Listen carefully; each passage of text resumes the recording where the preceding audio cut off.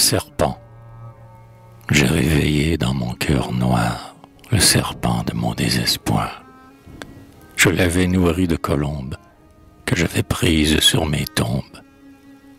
Les colombes de mes amours qui recoulaient toujours, toujours.